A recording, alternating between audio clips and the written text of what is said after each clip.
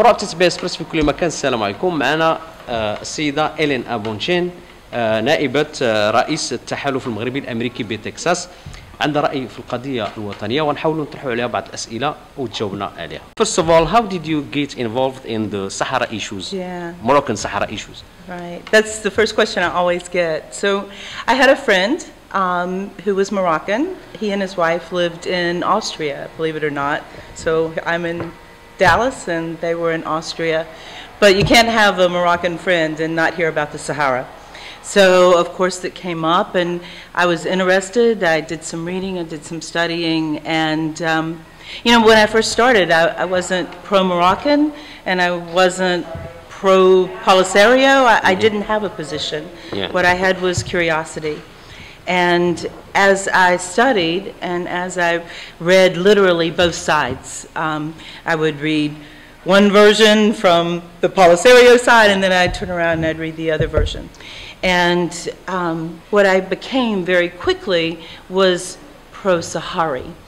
And the more I became pro-Sahari, not pro Moroccan Sahari. No, Sahari the people. Yeah. So the more I became more supportive of the people, the more then I looked for who was taking care of the people. And that's how I became pro-Moroccan. Because at the end of the day, what I wanted was freedom for people that I saw suffering and that I saw desperate in the middle of the desert. And the avenue, the pathway that I saw for that was what was offered by Morocco. And in fact, everything that I saw that was offered by the Polisario kept them locked in there. So for me, it was a decision that the people themselves, that the Sahari people themselves brought me to. So if there's a reason that I'm pro-Moroccan, it's the people in the camps who convinced me that I should be. Okay. I think the other thing that is important is what made me take action, because it's one thing to be interested and to read, but what made me take action was um, I, I come from the 60s and the 70s, and uh, the Kennedy name was one that symbolized civil rights, human rights, empathy, compassion. And I woke up one morning and I saw an article by Kerry Kennedy, and she was saying how she supported the Sahari people. And it never occurred to me that she wouldn't have reached any other conclusion than what I had reached. And she wanted people to sign a petition. This was back about three years ago.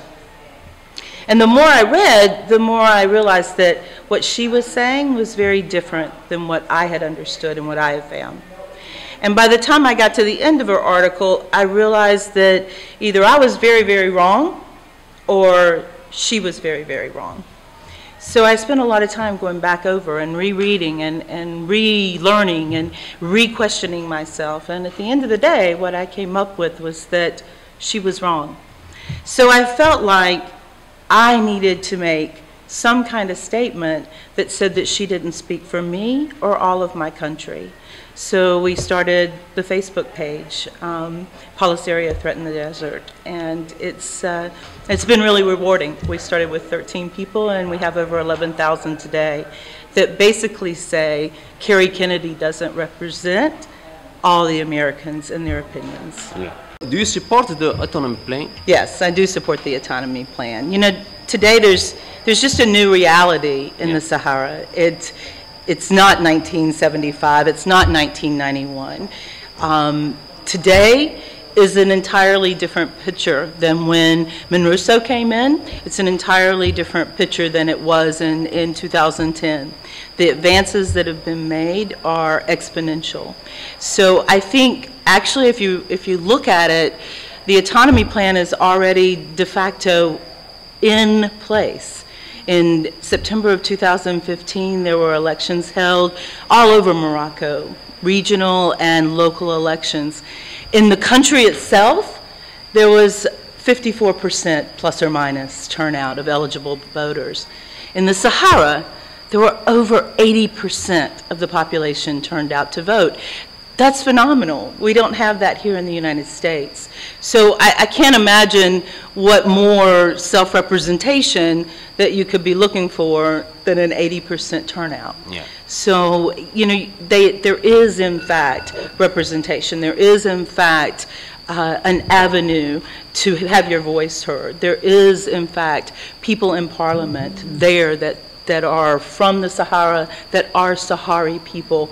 The other things that are important, and, and the reason that, that I support autonomy, and so many of people in the rest of the world support autonomy, as you know, um, it's described as the only credible and logical um, Yes. path to a solution in the Sahara. So the, the main things that I look at are, are what's better for the people, right? Because as I told you, it's the Sahari people themselves that made me pro-Moroccan. Yeah. So it's things like education. In 1975, there was 14% of the population, school-age population, were in secondary schools. Yeah. Today, that's a 74% sustainable. That's not a, a pick a number. That's real number of kids that are in school Unhealthy. Yeah, so those kinds of things are important. The king had just announced uh, a few months ago $8 billion worth of investment that's going to go into Yeah, the Sahara. That's jobs, that's, that's growth, that's futures, that's a real opportunity for the people who live there, for the residents there. And those residents are Moroccans, and they are Sahari Moroccans, and they are all unified. What do you think about what uh, Ban Ki-moon said? when he was in Tindouf. Yeah.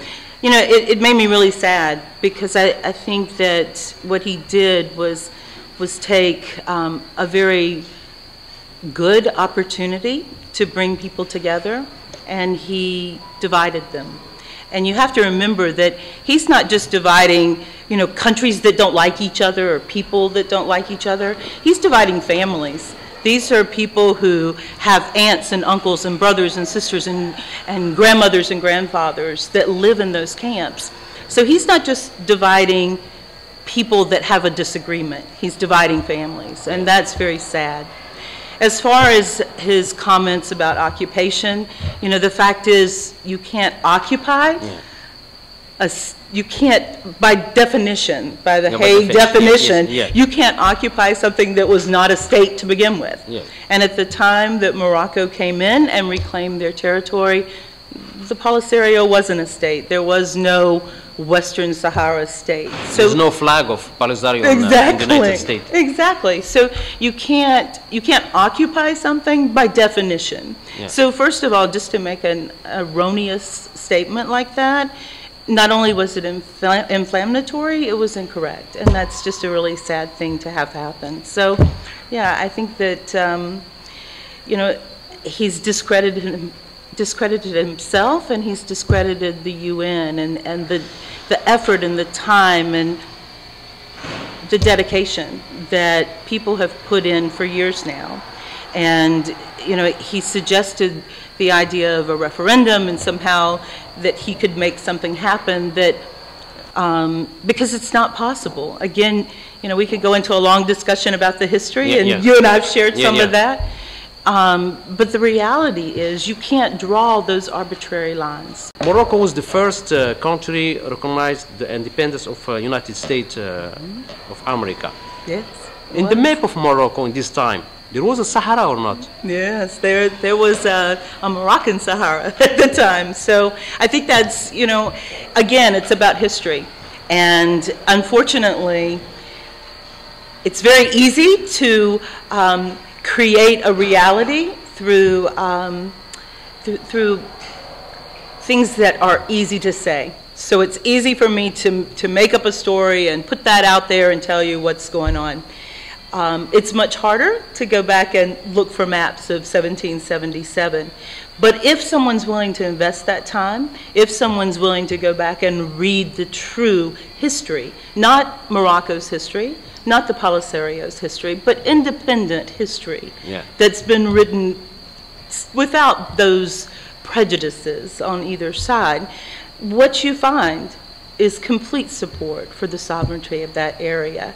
And what you find is from 1956, from, from the decolonization of Africa, Morocco making a huge effort from the very beginning to get their land back and incrementally gaining that property, gaining that land back over a period of years.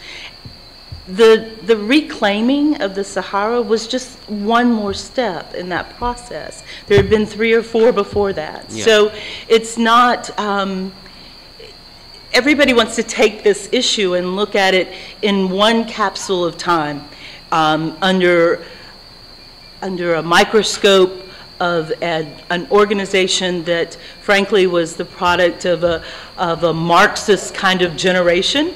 And they want to call it, you know, they want to view history through that lens. And really, that's pretty myopic. So I think if the world will take the time to look at that with a little broader scope and um, look at it with their heads first and their hearts second, um, they may come to a similar conclusion that I did. We hope that. Thank you very much.